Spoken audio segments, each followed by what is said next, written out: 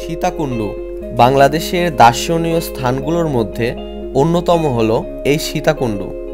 অনেক দিন ধরেই আমার ভ্রমণপ্রিয় মন পাহাড়, সমুদ্র এবং ঝর্ণা দেখার আক্ষেপ প্রকাশ করে। তাই তো এত বেশি কিছু না ভেবেই পাঁচজন ভ্রমণপ্রেমী মানুষকে নিয়েই আমাদের গন্তব্যটি ফিক্সড করে ফেলি।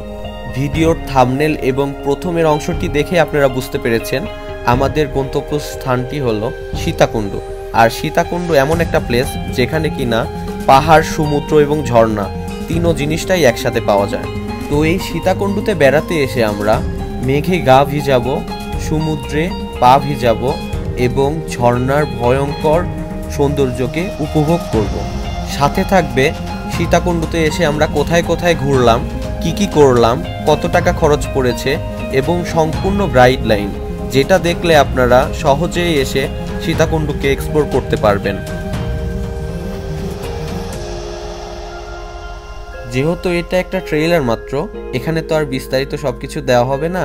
বিস্তারিতগুলো দেখতে হলে আমার চ্যানেলটাকে অবশ্যই সাবস্ক্রাইব করে রাখতে হবে। আর যারা আগে থেকে আছেন, তাদেরকে অসংখ্য ভালোবাসা। ইনশাআল্লাহ, খুবই শীঘ্রই আমি ভিডিওগুলো আপলোড দেওয়ার চেষ্টা করব। এই ভিডিওতে আমি আসছিলাম জাস্ট আপনাদেরকে আমন্ত্রণ করার জন্য, যে ভিডিওগুলো আপলোড হবে এগুলো দেখার জন্য। তো বেশি কথা না বলে আজকের মতো বিদায় নিচ্ছি। দেখা হচ্ছে নেক্সট পর্বগুলোতে। সবাই ভালো থাকবেন, সুস্থ থাকবেন এবং এফ এম রিয়াদ ইটিসির সাথেই থাকবেন।